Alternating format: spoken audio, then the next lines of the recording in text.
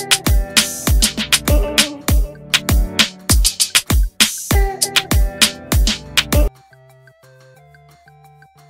นนิสยันไม่ประมาทลั่นเตะขาดแน่หลายชาติ ยกหูถามขอเลี่ยงไม่สู้ด้วย เมื่อวันที่ 24 เมษายนที่สมาคมกีฬาเทควันโดแห่งประเทศไทย ภายในการกีฬาแห่งประเทศไทย บิ๊กเอ ผู้ช่วยศาสตราจารย์พิมลศรีวิกร นายกสมาคมกีฬาเทควันโดเปิดให้สื่อมวลชนเข้าร่วมติดตามบรรยากาศการฝึกซ้อมของทัพนักกีฬาเทควันโด ชุดลุยศึกซีเกมครั้งที่ 32 ที่กรุงพนมเปญประเทศกัมพูชา ระหว่างวันที่ 5-17 พฤษภาคม บิ๊กเอ ผู้ช่วยศาสตราจารย์พิมล กล่าวว่าตอนนี้ทัพนักกีฬาเทควันโดไทยทั้งประเภทต่อสู้และภูมิเซพร้อมไปสู้ศึกซีเกมเรียบร้อยแล้ว จากนี้ประเด็นที่น่าเป็นห่วงน่าจะเป็นเมื่อไปถึงที่กัมพูชาแล้วจะเป็นอย่างไร เพราะที่ผ่านมา มีข่าวที่น่าเป็นห่วงออกมามากมายทั้งสถานที่พัก สนามแข่งขัน และอื่นๆ เราจึงตัดสินใจแก้ปัญหาด้วยการย้ายให้นักกีฬาและทีมงานทั้งหมดไปพักโรงแรมที่ทางสถานทูตช่วยหาให้ พร้อมกับติดต่อร้านอาหารไทยผูกปิ่นโตไปแล้วเรียบร้อยทำให้ตอนนี้ก็ครบหมดแล้วหมดความกังวลในเรื่องที่พักและอาหาร เราใช้งบประมาณไปราว 1.5 ถึง 2 ล้านบาท แต่ก็ถือว่าเป็นการลงทุนที่คุ้มค่า ลดความเสี่ยงต่างๆ ที่อาจจะเกิดขึ้น เพื่อให้นักกีฬาได้พุ่งสมาธิไปกับการล่าเหรียญทองอย่างเต็มที่บิ๊กเอกเผยว่าในซีเกมครั้งที่เราประเภทต่อสู้เราส่งได้ 10 รุ่นจากทั้งหมด 16 รุ่นที่เจ้าภาพจัดการแข่งขันเราตั้งเป้าคว้าให้ได้ 5 เหรียญทอง แต่ก็ก็หวังว่าจะทำได้มากกว่านี้เช่นกัน ราะนักกีฬาของเรานั้นแข็งแกร่งจริง ๆ ส่วนประเภทภูมิเซเป็นกีฬาที่ตัดสินด้วยสายตา ไม่รู้ว่าเมื่อถึงเวลาแข่งขันแล้วผู้ตัดสินจะมีประสบการณ์มากน้อยแค่ไหน จึงหวังไว้เพียงหนึ่งเหรียญทองไว้ก่อน ที่ผ่านมามีหลายชาติโทรเข้ามาถามว่า เทนนิสลงแข่งขันซีเกมหรือไม่ลงรุ่นอะไร เชื่อว่าที่สอบถามเข้ามาเพราะต้องการจะเลี่ยง แต่ทั้งนี้เราจะไม่ประมาทย้ำเตือนให้นักกีฬาเตะให้ขาดอยู่แล้วบิ๊กเอเผยถึงประเด็นที่น้องเทนนิส พานิพักวงพัฒนกิจ เคยออกมาสัมภาษณ์ว่าจะอำลาทีมชาติหลังจากจบโอลิมปิกเกมส์ 2024 ด้วยว่าคงต้องเป็นเรื่องของนักกีฬา เพราะการที่จะไปเล่นในระดับโอลิมปิกเกมส์ ต้องใช้ความมุ่งมั่นสูง หากไม่มีความมุ่งมั่นแล้วก็คงไม่ไปบังคับ อย่างไรก็ตามหลังจากจบโอลิมปิกเกมส์ 2024 จะมีซีเกมส์ที่ประเทศไทยเป็นเจ้าภาพ ปี 2025 ไม่แน่ว่าถึงเวลานั้น เทนนิส อาจจะต่ออีกปีก็ได้ด้าน โค้ชเชนายชัดชัยชเวหัวหน้าผู้ฝึกสอนเทควันโดทีมชาติไทย กล่าวว่าเป็นซีเกมครั้งที่ 11 ของตัวเอง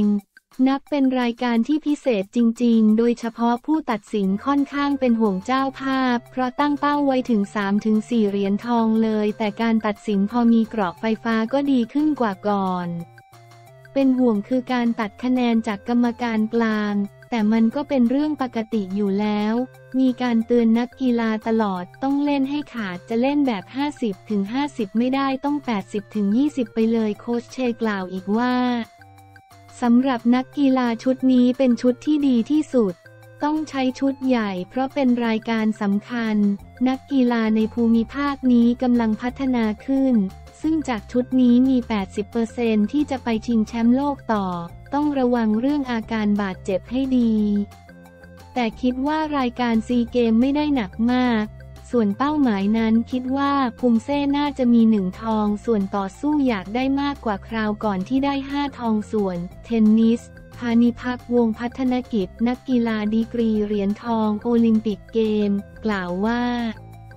สภาพร่างกายตอนนี้พร้อมเต็มร้อยสำหรับการแข่งขันที่รออยู่ทุกรายการ คิดว่าหลังจากโอลิมปิกเกมปีหน้าก็จะไปรักษาตัวอย่างจริงจัง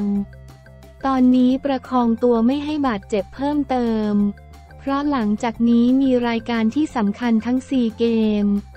ชิงแชมป์โลกและเวิลด์กรังปรีสนามแรกด้วยไม่อยากจะพลาดการแข่งขันแม้แต่สนามเดียว ซึ่งซีเกมครั้งนี้เป็นครั้งที่ 5 นับเป็นรายการที่ช่วยสร้างประสบการณ์อย่างดี จะไม่ประมาทใครทั้งสิ้นเรื่องกรรมการเคยมีประสบการณ์แล้ว รู้ว่าเป็นอย่างไร จึงไม่กังวลแต่อย่างใด จะเตะให้คะแนนขาดเข้าไว้เพื่อลดความผิดพลาดด้วย การลงครั้งนี้เพราะเป็นแผนของทางสมาคม เพราะยังไม่มีนักกีฬาในรุ่น 49 กิโลกรัม ขึ้นมาทดแทนจึงต้องทำหน้าที่ในครั้งนี้ไปก่อน แต่ไม่ว่าเป็นรายการใดก็จะทำให้เต็มที่อยู่แล้ว เทนนิสกล่าวปิดท้ายสำหรับนักกีฬาเทควันโดทั้ง 21 คนประกอบด้วยประเภทต่อสู้ 10 คนจุลานันขันติกุลานนท์รุ่น 46 กิโลกรัมหญิง พานิพักวงพัฒนกิจรุ่น 49 กิโลกรัมหญิง ชุติการจงกลรัตนวัฒนารุ่น 53 กิโลกรัมหญิง พันนภาหารสุจินรุ่น 57 กิโลกรัมหญิง สสิการทองจันรุ่น 62 กิโลกรัมหญิง รานรงเสวกวิหารีรุ่น 54 กิโลกรัมชาย ธนกฤษยอดรักรุ่น 58 กิโลกรัมชาย นภัสศีติมงคล รุ่น 63 กิโลกรัมชาย ชายชนโชรุ่น 68 กิโลกรัมชายแจ็ควูดี้เมอร์เซอร์รุ่น 74 กิโลกรัม ชายส่วนประเภทภูมิเซ่ 11 คน ประกอบด้วยออนนวีศรีสหกิจ ภูมิเซ่ทีมหญิง รัชตาวันตะเพียนทองภูมิเซ่ทีมหญิง พิชามนลิ้มไพบูลพุมเซ่ทีมหญิง สิบปกรเวชกรปฏิวงศ์พุมเซ่ทีมชาย วรพลเสี่ยงหลิวพุมเซ่ทีมชาย นัทชัยสุธาภูมิเซ่ทีมชาย ทันซินีมุขดา ฟรีสไตล์ทีมผสม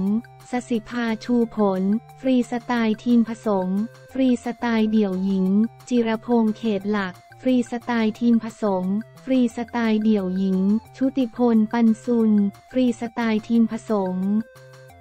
นัทพัฒน์แก้วกัน ฟรีสไตล์ทีมผสม โดยมีนายธนทิตรักตะบุตรเลขาธิการสมาคมเป็นผู้จัดการทีม นายชัดชัยเชเป็นหัวหน้าผู้ฝึกสอนประเภทต่อสู้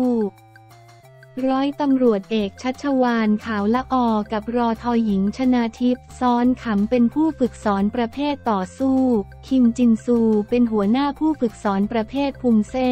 และนภัสสอนเผ่าวงศาเป็นผู้ฝึกสอนประเภทภูมิเซ่